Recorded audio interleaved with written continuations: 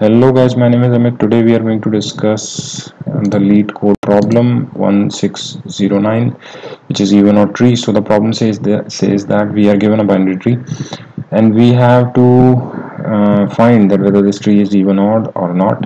So the criteria for even odd is this that at the even index levels all entries should be odd and it should be increasing order that is if this is a even index level then this should be increasing and all entries should be odd. While at the odd index levels that is let's say at odd indexed level 1 uh, all entries should be decreasing uh, from left to right and all entries should be even as well. So in order to solve the problem we can think it of think this tree uh, we, we will be doing the spiral or the zigzag traversal of a tree. So in spiral order traversal what we do is we traverse right from the root then we go uh, on on the on even level we go from left to right. On on odd levels we go from right to left. So we can see here we are going from left to right on even levels level 0 on level 1 which is the odd level we are going from right to left then again on level 2 we are going from left to right and then again on level 3 which is a odd level we are going from right to left. So this is just an example but uh, we will be taking up this example to solve that how we are going to solve the problem. So basically we'll be using two stacks here because zigzag traversal employs two stacks zigzag, zigzag traversal.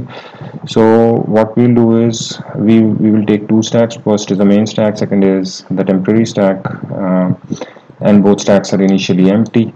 So the root of this tree is 1 we will push 1 onto the main stack. Now uh, at level 0 we'll be keeping a variable to uh, keep track of level as well in code so at level 0 we will pop the main stack. So we have popped the main stack 1 and on the even level because here level is 0 and this is even in this case we will push left and then right child of the popped entry onto the temporary stack. So as you can see the left entry is 10 we will push 10 onto the temporary stack then the right entry is 4 we'll push right entry 4 onto the temporary stack so it becomes 410 now when the stack main stack becomes empty we will just check that temporary stack is sorted or not. So in this case yes it's sorted from left to right. We'll move ahead and then we will swap the stacks so in this case main stack becomes 410 and temporary stack becomes empty. So this is the logic which we are going to apply on every level. Now we are on level 1 we will pop the first entry that is 4 on the on the odd level. Sorry sorry to say we are on the odd level. Now on the odd level we are going to push right child and then left child. So right child of 4 is 9 so we are going to push 9 onto the temporary stack which was empty. Then we are going to push 7 onto the temporary stack so it becomes 7 9 then the main stack has entry 10 so we'll pop 10 the right child of 10 is null so we're not going to do anything. Temporary stack stays same. Then the left child is 3 we will we are going to push 3 so it becomes 379 now the main stack is empty we'll again check the temporary stack is sorted or not. Yes this is. And then we'll again swap. Now again the temporary stack becomes empty main stack becomes 379 at level 2 which is uh, even level. So at this we are going to pop 3 so when we pop 3 and we know that at even level we are going to look the left child and then the, then the right child. For 3 the left child is 12 we'll push on stack. Then the right child is 8 we will push on temporary stack. It becomes this.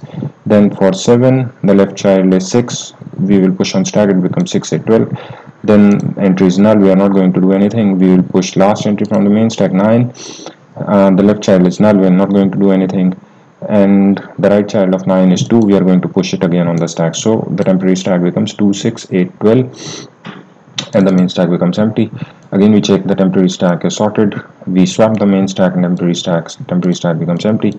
And finally on level 3 we are going to repeat the same process. We are going to pop 2 so after popping 2 we find there are no child temporary stack remains empty. We pop 6 we find no child empty. Pop 8 no child temporary stack empty. Pop 12 temp and then again temporary uh, stack becomes empty. And when temporary stack is empty it means that we do not have any level ahead and then we are going to exit with true statement. So let's see in code how this is done.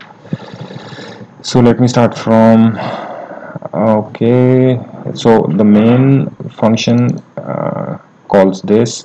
So in this uh, I have just checked that if root is null then I'll return false. Otherwise I'll push the root onto the uh, main stack. So the, the entries for the main stack and the pre stack are here which takes the tree node pointer. Then I I'll check zigzag. So in zigzag I have taken two loops two while loops. So at the uh, initially the main stack top entries uh, searched. If top is null then I'll just continue. Otherwise the top is pushed onto the vector which we are going to check here. This sorted temporary stack sorted. This is the vector sorted. Then uh, if we are at the even level so for level we uh, I have taken this variable level here and then uh, after every uh, iteration or we, I'm going to uh, increment the level. So if level is uh, even that is its mod 2 then in that case I'm going to push left and then right. Otherwise if level is odd then I'm going to push right and then left. So this says that this check says that if at even level the element is even then in that case I'm going to return false. And if odd level element is odd so at that case I'm also going to return false. At end of so this this loop uh, inner loop inner while loop basically uh, checks the pops the main stack fills the temporary stack.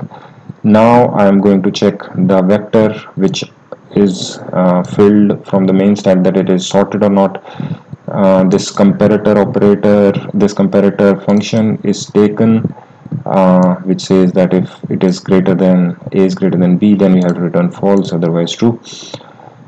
So if it is not sorted then we are going to return false just clear this vector and then finally swap the temporary and the main stack. And then we are going to do a level plus so this is how the code runs. Uh, I'll just push the code on github as well. Thanks a lot. Have a good day. Bye